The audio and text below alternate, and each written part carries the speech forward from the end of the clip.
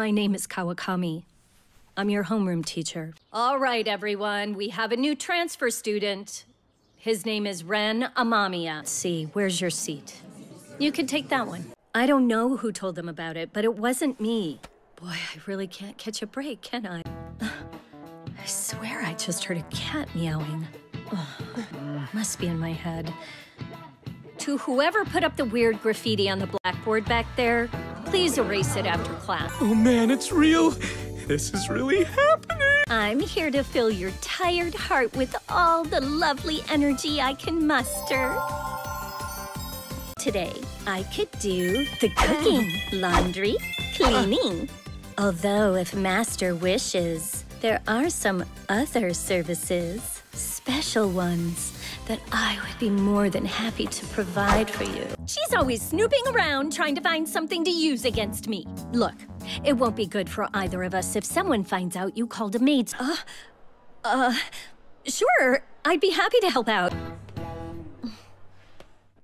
So, what's all this about? And he gets violent far too easily, but he holds back for the sake of everybody else. I admit I never would have thought of that given his attitude problem. You can feel free to call me again if you like, Amamiya-kun.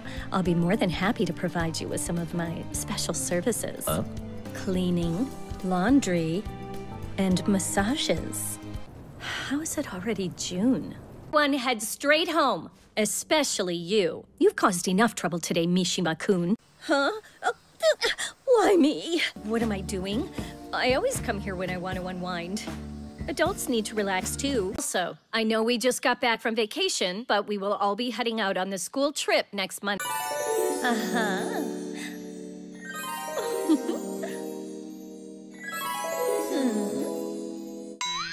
What the hell am I thinking?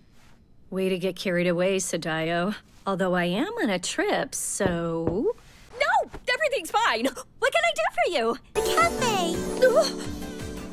Maid Takayaki is always happy to serve. Ugh, must be so nice to be young. Not going to school, you're not leaving the house. What is it that you're doing? Would a massage help you at all? You seem pretty stressed. Come on, let me loosen you up. I'm worried about my student. I want to help you. It's working! I'll scream until my throat hurts if it'll help them win.